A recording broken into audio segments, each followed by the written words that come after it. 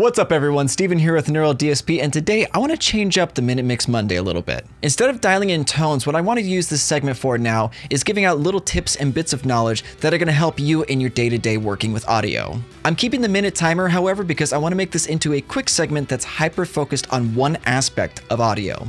And there's almost a certainty that I'm going to be going over time on most of my videos, but I want to use that to push myself into making this as short and sweet for you guys as possible.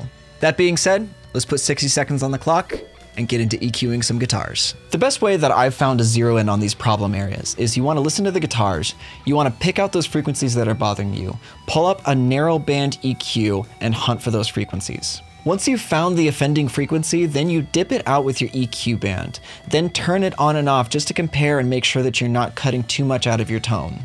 Lastly, compare it in the mix. I can't stress how important it is to make sure that your EQ moves are matching up with what you want to have happen in the mix. The most common problem areas I've found mixing guitars will be around the bass, low mids, and presence area.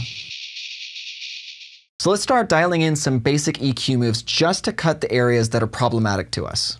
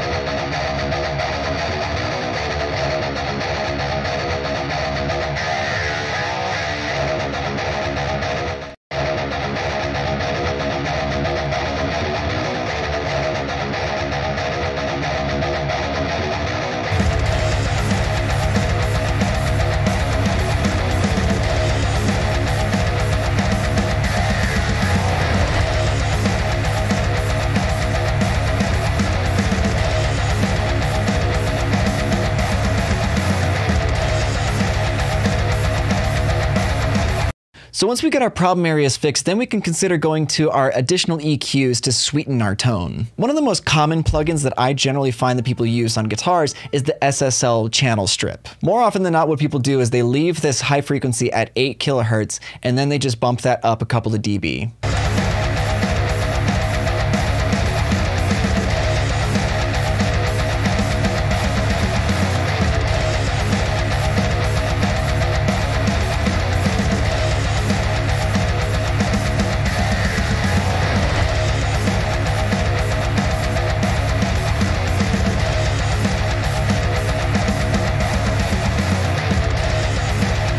And that sounds pretty good. I'm going to bypass that. My general go-to for a lot of these plugins has been the Scheps Omni channel though. And I'll grab this high shelf and pull it back to about 2 or 3K and then start boosting.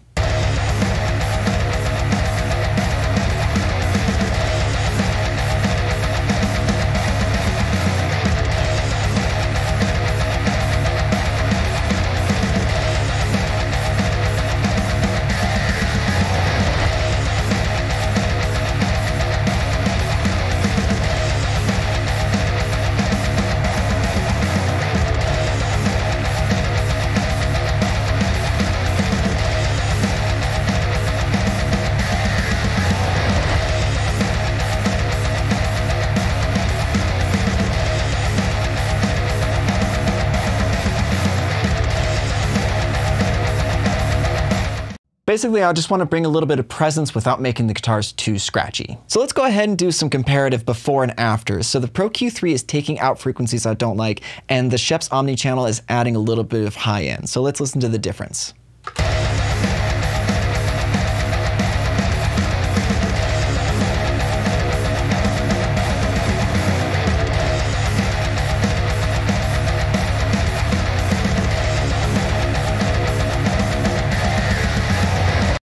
So you can hear with just a few simple moves how I was able to make those guitars sit so much better in the mix. The snare pops through because those mid-range frequencies aren't clashing anymore. The guitars sound nice and aggressive, but they're not overpowering anything else in the mix. Thank you so much for checking out this video. Please like, share, and subscribe, and hit that bell icon for notifications on when we upload videos. Comment down below and let me know if you like this content and if there's a subject that you want me to dive into on the next Minute Mix Monday. As always, I'll see you in the next video.